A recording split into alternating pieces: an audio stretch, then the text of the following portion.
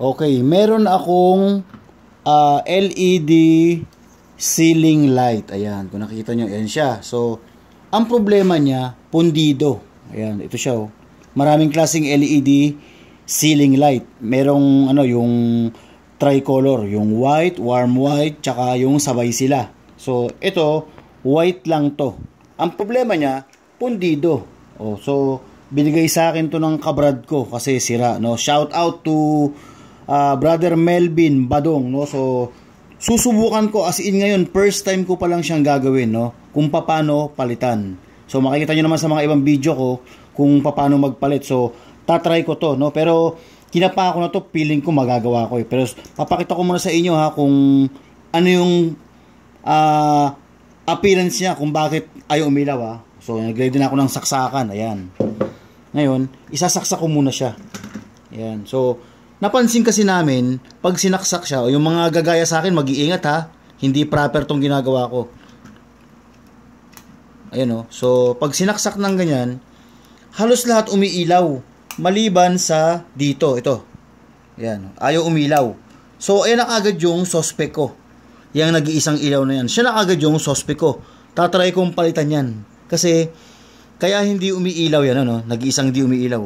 Kaya hindi umiilaw yan kasi, ang mga LED na to, itong mga to, series connection yan. Ibig sabihin, pag merong isang hindi nakakabit, hindi na lahat iilaw. Pero, halos hindi nga umilaw, di ba? So, bubuksan na natin ha. So, minarkahan ko na. So, ito, ito ngayon, oh. Ito.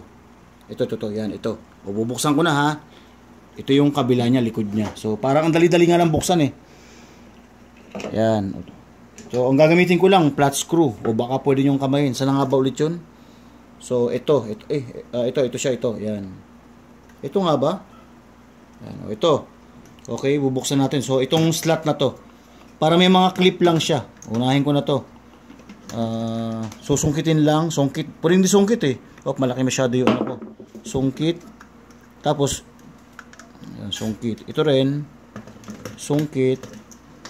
O, so, puring, puring kamayin siya eh. Nakakamay eh. Ayan. So, ito na lang, yung mga panggitna. Tulak. Ayan. Last na. Okay natanggal ko na. So eto na siya. So napansin ko nga nung tinanggal ko to o napansin nyo naka series connection no may isang wire dito. Nakakonect tuloy tuloy tuloy doon hanggang dito. May isang wire din doon. So series connection siya. Yung pagmarka ko ng isang bumbilya kanina napansin ko nga oh ito oh pakitutukan ng camera. Sunog eh no? Mapapansin nyo sunog Maliban sa iba, hindi. So, dahil nga siya yung suspect ko kanina, parang tama nga na ayaw umilaw. Ngayon, papalitan natin yan. Paano ngayon siya palitan? So, kung, kung napapanood yung mga vlog ko, mga ibang videos ko dito, marami na ako na-repair na LED, no? So, pakipanood na lang. Pero ito, straight to the point naman ito, kung paano rin. So, same step lang, no? So, ito yung ilaw natin, napapalitan ko, ayan. Anong gagamitin ko para matanggal yan? Kasi, ano to eh, uh, ah, SMD LED, sabihin surface mount device na LED, no? Paano tanggalin? Ito ang ginagamit para tanggalin. Ito. So ito. Ayan, diniscuss ko rin to sa unang video ko.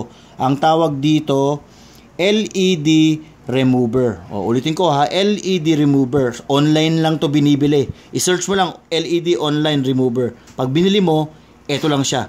May kasamang chane. Ayan. So, ito lang. 100 plus lang yan. Ayan. So, dudugtangan mo na lang ng saksakan.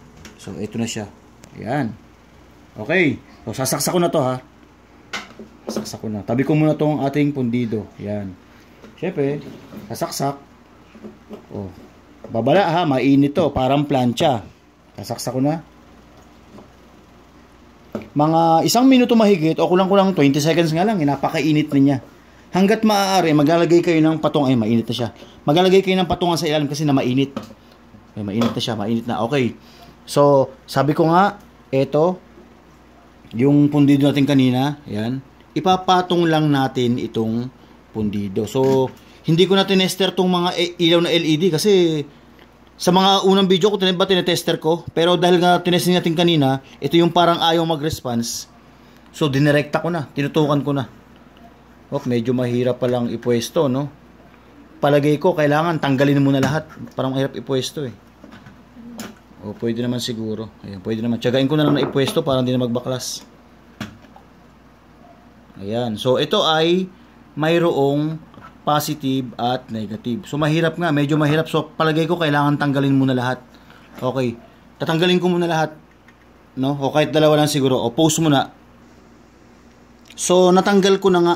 No? Tinanggal ko na lang para mas komportable siyang i-repair. Ayan. So, ito, mainit to ha. Mainit to, mainit. Ayan. Mainit, mainit. Sobra init talaga. Parang plancha. So, tinanggal ko na nga ito. Ayan. Para mas komportable yung ilapag. So, ayan na ha. Lalapag ko na. So, syempre, ayan. Pakitutukan ng camera na lang. Ayan. So, ito yung uh, pundidong bumbilya. So, ito ay mayroong positive tsaka negative. Siyempre, ang LED, di ba, may positive, negative. So, ibababad mo lang siya ng mga, at least mga 10 seconds o 15 seconds. Tapos, gamit yung chane, ayan, hahawakan mo siya ngayon. Yan, pag ganyan. Uy, malambot na. Ang bilis, oh, napansin nyo? Napansin nyo ngayon sa ilalim, kung kitang-kita mo sa camera, yung parang malapad na portion sa baba, ito, ayan yung positive yan. Ito, yung sa taas naman ang negative. O kung dito sa, sa board, ito yung positive, ito naman yung negative. Okay. Ang tanong, dun sa mga baguhan lang ha, sa mga baguhan lang, saan naman ako kukuha ng pamalit? Yan. To panapon na to. Saan naman ako kukuha ng pamalit? Napakadali lang. No? Sa mga unang video ko, kumukuha ako o nangangahoy ako doon sa mga lumang ilaw. Ayan. So, ito, ipagpalagay na lang natin. Hindi ko talaga eksakto alam. 3 volts ang isa.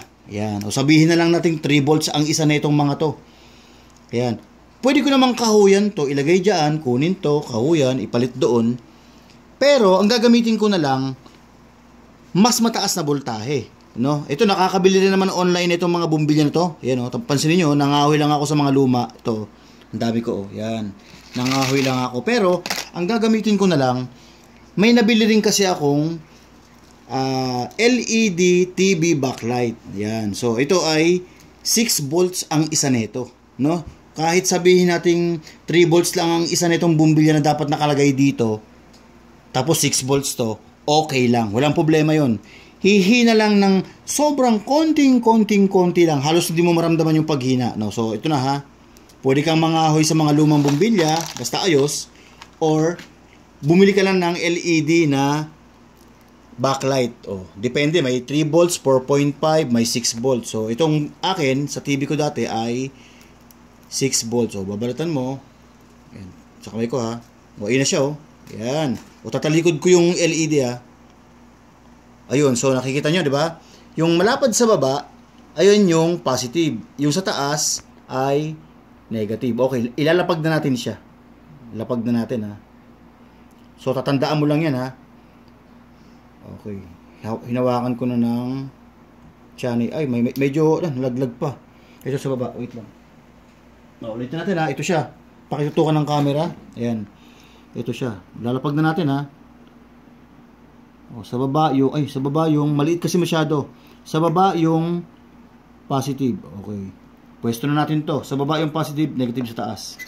Pwesto na natin ulit yung ating board. Siyempre, yung may pundi kanina. Ano, yan. So, didiin natin ng bagya para lapat na lapat. Para mabilis na minute. Okay. Ayan na siya. Mabilis lang yan. Kasi kanina, dati na mainit, no? Ayan na to. Hawakan na natin itong ilaw. Ayan.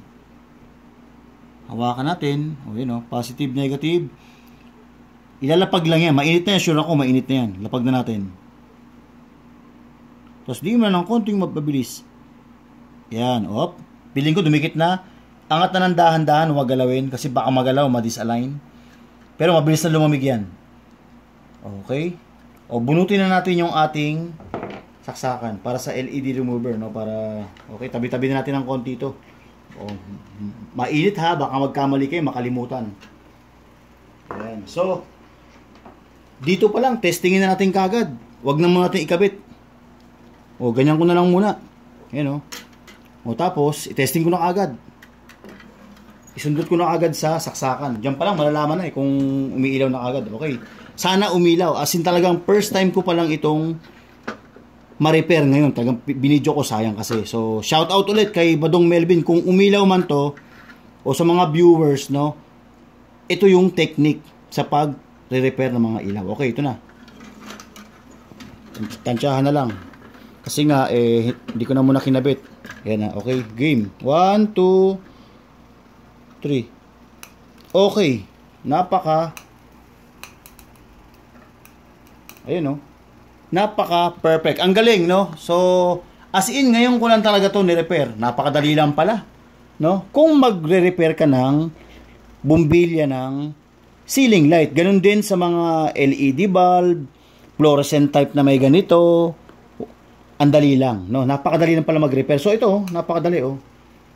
So, di ba, ito, ito, pag binili mo to nasa 300 plus, depende sa wattage. Eh, magkano lang pala yung pan-repair? Napakamura lang. Sa tabi-tabi mo lang nakukuha. Okay, so, napakasimple, di ba? Okay, thank you. Hindi ko na ipapakita paano ikabit, ha. At least nakita nyo kung paano i-repair. Maraming salamat. Sana may natutunan ulit tayo. Okay, sa mga susunod ko pa ulit na video. Thank you, thank you.